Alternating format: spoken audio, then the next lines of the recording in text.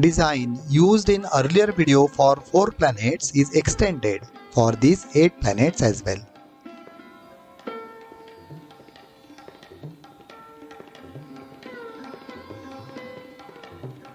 Let us find out if we have the right set of gear ratios.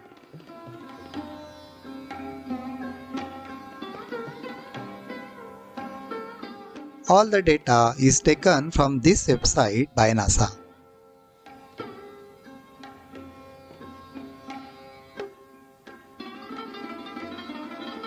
Here I have used 16 rpm 12 volt DC motor. We will start with the innermost planet, Mercury. Mercury takes 88 days to complete one revolution around the Sun. In this model, Mercury takes 3.8 seconds to complete one revolution. That means we can take 1 second reference as approximately 23 days for our future calculations.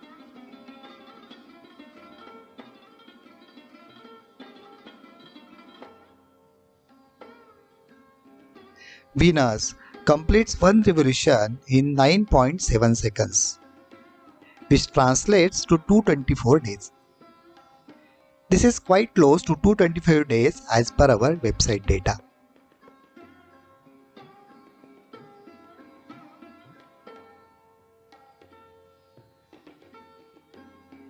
Our own planet, Earth, takes around 15.3 seconds.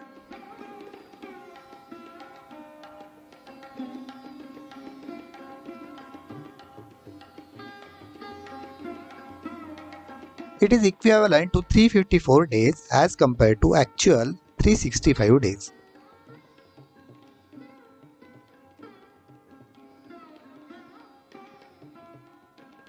Mars takes 30.5 seconds or 706 days against the actual 687 days.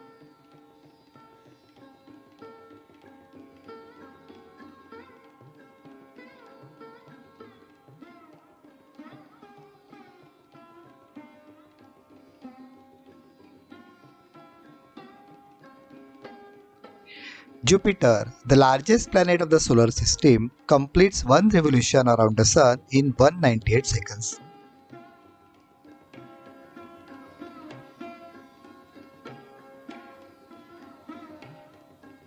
Farther planets take much longer time to complete one revolution. I used time-lapse feature for the same. Difference between the actual and real numbers is due to the approximate ratios calculated for these planets.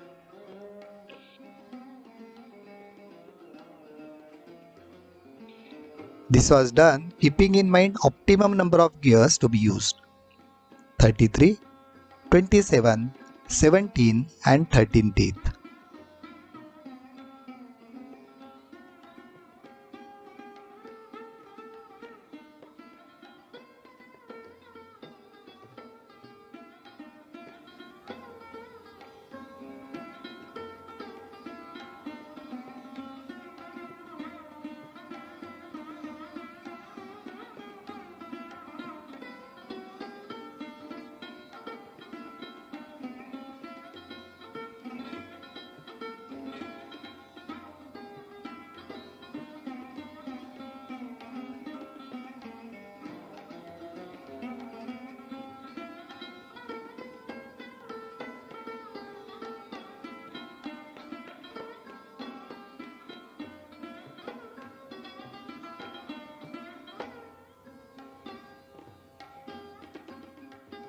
That is for the relative speed.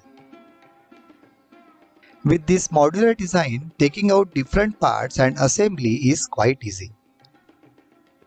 Let me quickly walk you through the same.